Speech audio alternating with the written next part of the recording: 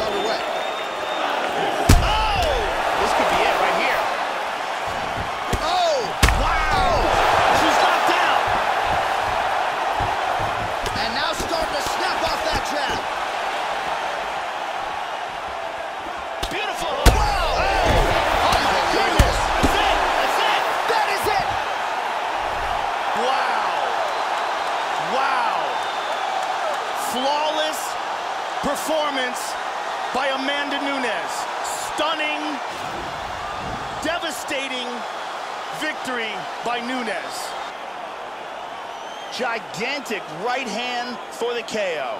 Yeah, Joe, that'll get the crowd on its feet. A near-perfect land to end the fight for her here tonight. Just the way she drew it up. She had her focus on the knockout, and that's exactly the way this fight ends. I'm not even sure the opponent saw the shot coming. They oftentimes say it's the shot you don't see coming that spells your fate, and that certainly spelled her fate here tonight.